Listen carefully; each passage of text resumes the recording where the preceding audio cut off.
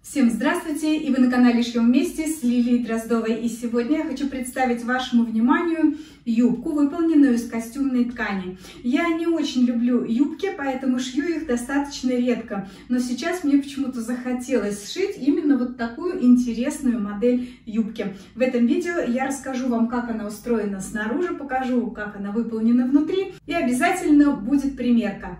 Юбка с запахом на техническом рисунке выглядит следующим образом. Это юбка прямого кроя, умеренного объема. Передняя часть юбки состоит из двух деталей, которые находят друг на друга.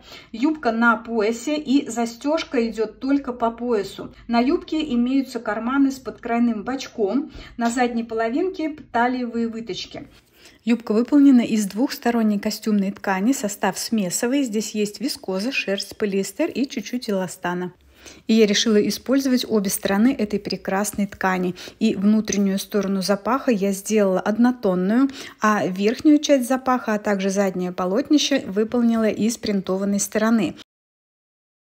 У юбочки имеются карманы с подкрайным бачком. Вот так выполнен второй карман. Рисунок подобран, чтобы все идеально совпадало.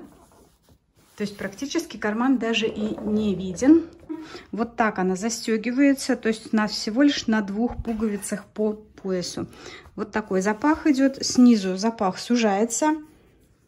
Юбочка полностью упакована подкладкой, то есть подкладочка не отлетная. Поэтому изнутри юбка выглядит вот таким образом. Полностью закрыта подкладкой со всех сторон. Отделка сделана ручными стежками, вот такими вот по краю. Имеется напуск для свободы движения. Также ленточки, чтобы хранить на вешалке. Пояс окантован косой бейкой. Нижняя юбка полностью повторяет верхнюю. Имеет те же швы и выточки. Карман выполнен с подкрайным бачком и обтачкой из того же материала. Внутри мешковина из подкладки. Сзади выполнены обычные выточки. По боковому шву, так же как и карману, совмещен рисунок. То есть есть ощущение, что юбка без шва. И, конечно же, эта юбка выполнена по моим размерам с учетом особенностей моей фигуры. Ну а теперь долгожданная примерка. Я не люблю юбки в обтяжку, кроме того, я очень люблю карманы, поэтому в этой юбке достаточная свобода. Длина миди очень хорошо сочетается с длинными сапогами. Скользящая подкладка делает юбку комфортной при ходьбе и не позволяет собираться ей в комок. И, конечно же, блузы и рубашки можно как заправить в юбку, так и носить на выпуск. Мне кажется, что это смотрится и так, и так хорошо.